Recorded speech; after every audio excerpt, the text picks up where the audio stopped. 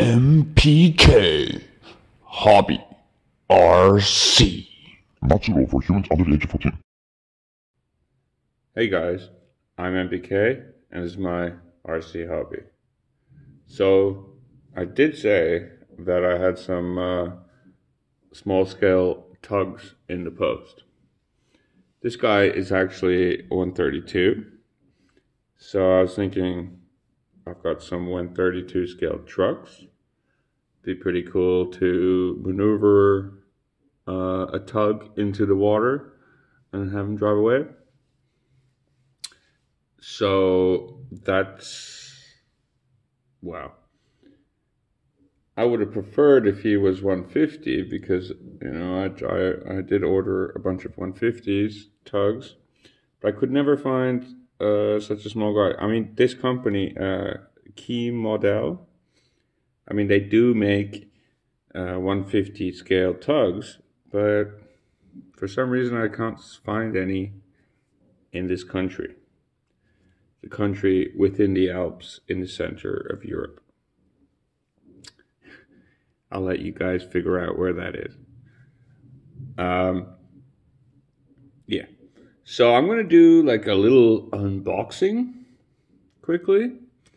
And then I'll give you guys a little update on my other tug projects and boat projects. Cool. Let's uh let's start by opening up. Just a quick disclaimer. We just turned on the washing machine and it's storming. It's got a little thunderstorm outside. So if you hear any bangs, washing machine or thunderstorm. Without that, with with that out the way, let's unbox. Obviously, I've opened the box, but I haven't taken anything out of the box just yet.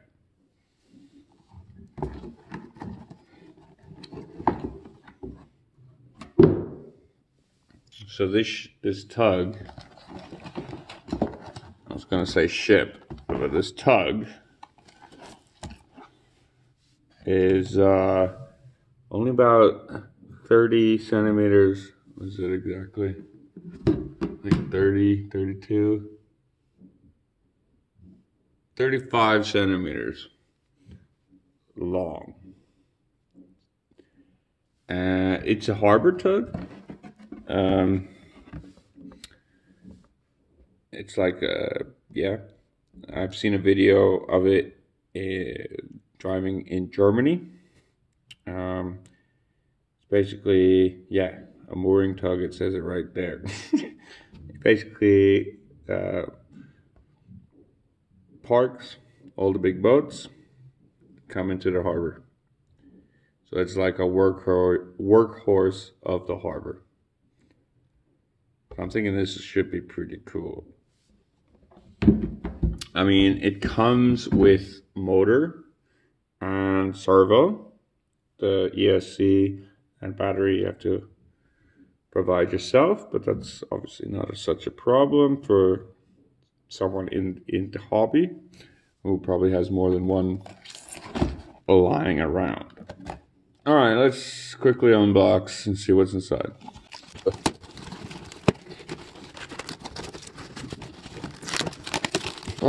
Well that, oh it's come out.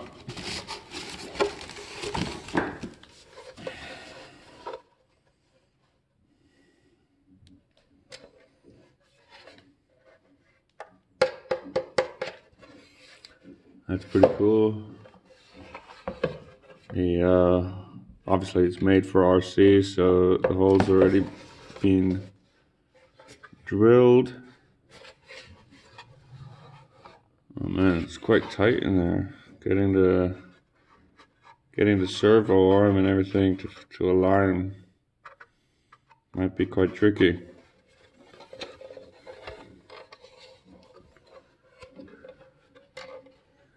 So I was actually I ordered this first, and I was actually hoping that this would arrive first, so that I could build this up first. But no, the uh, Hoga arrived, so yeah, I couldn't help myself. I think most in the hobby would do the same. But yeah, I would, I'm gonna build this guy next. It's pretty cool. All the detailing's already done. You probably just have to like paint her, well, obviously paint her up, put all the electronics in, do whatever detailing you want to do on top of that. Now let's see what else is in the box. Uh, these guys. I'm thinking that's probably for the railings. This is a 132, so it's going to be bigger than 150s. And then some sort of rubber stuff. I reckon that's to go around the front. A sort of bumper.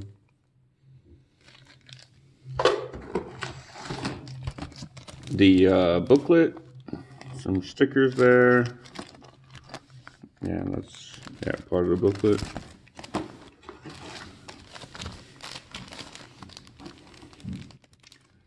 This seems to be the stand, obviously, and all of the. Oh, I thought you had to like make these yourself, but it seems they've, they've all been laser cut. Just have to like paint them up. Pretty cool. I imagine there's glass in there for the, or you know, plexiglass or some sort of plastic for the windows. Now, what's in this guy? Kind of like a puzzle. Like, how do you open this? I could just get a scissor and cut it up, but I'm sitting here now and whatever. Let's just brute force it. Or maybe be intelligent.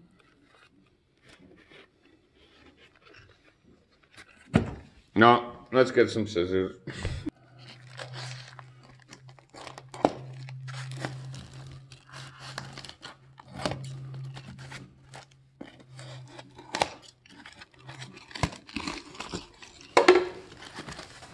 All right. So we have the motor. Small little guy. I think I might need to get some more of these because obviously I've got loads of tugs coming, so I need to figure out what this guy is and then uh, order up some more. A little heat sink and some bits and bobs. It's not a nine gram. I don't know. Little little motor, uh, servo, prop on some metal bits. Nice. These are metal. Prop and drive shaft. Oh yeah, that's good. Oh no, I don't think so. I think these are just you know fittings and stuff. This is pretty nice. Tiny little metal bits. The uh, what's it called? Yeah. And the wheelhouse. Same same thing. It's pretty nice. Pretty strong. I, I'm thinking that probably ABS or something. I think it's probably ABS. Probably sure. It's probably in the manual or in the buying description and stuff. I think I read ABS somewhere, but yeah. Pretty cool. Where's the hub?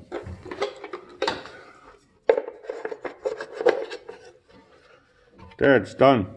it's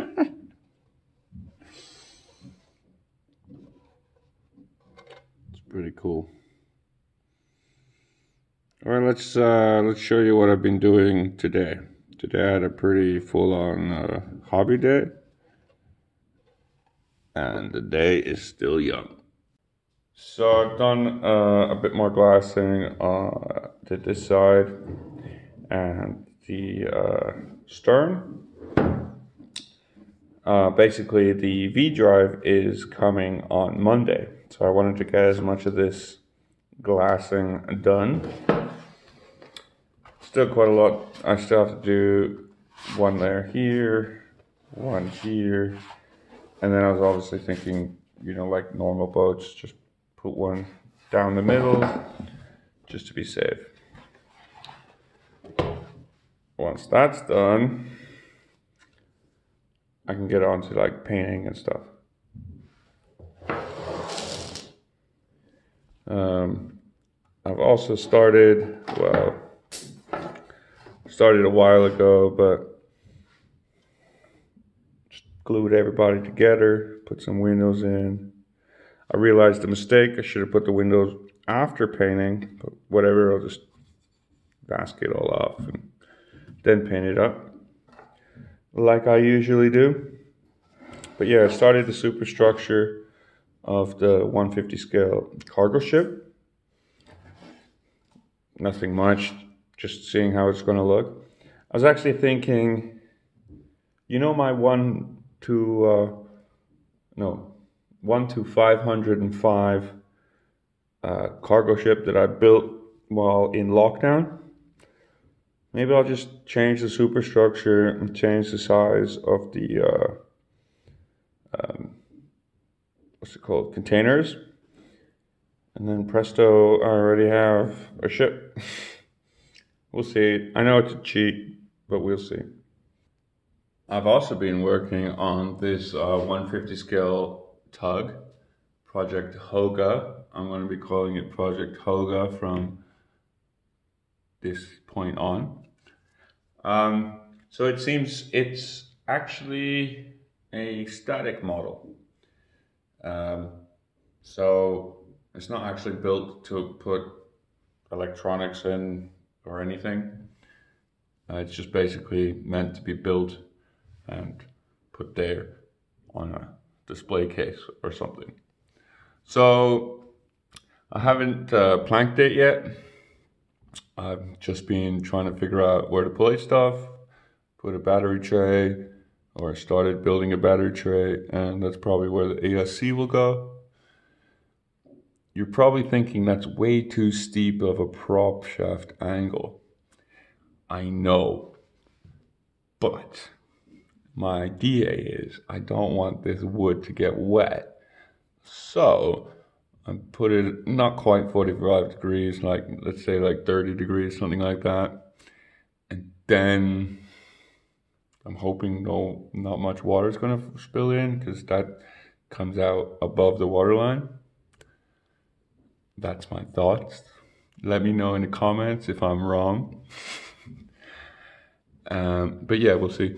I've yet to do the um, servo setup, but yeah, it's. uh, I'm basically building the top first before I build a hull because I got to build all this stuff inside here first. But yeah, that's that. All right, so bear with me, guys. I just bought this thing.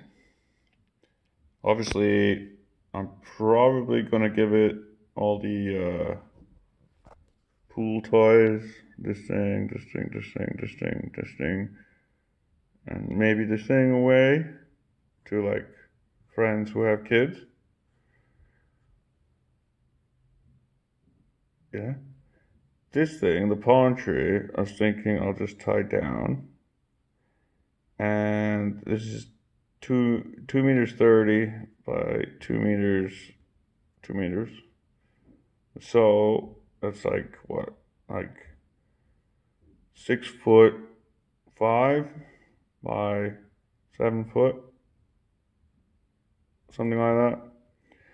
So what I'm thinking is, I mean, like I need somewhere to test the boats out, and I have a balcony big enough to put this thing in there. It's basically, I was looking for a paddle paddling pool, like a kid's paddling pool. And, you know, I didn't want to get one of the circle ones because theirs are tiny. So I was just searching, and then I found this thing. And well, I don't I don't need it to be very deep, like the water. Um, I need maybe like maximum 20 centimeters. Uh, that's like under a foot, like maybe like two inches under a foot, something like that. Um, that's even too much. So I thought this guy, and like I could probably put some foam bits around and try and make like a little harbor to maneuver my boats and learn how to maneuver the boats rather than learning while at the lake. I don't know. Let me guys, let me know what you guys think in the comments. Am I stupid for buying? I mean, it, it was cheap. It was like what, under fifty bucks. Um, yeah. What do you guys think? Good idea or bad idea on the kiddie pool?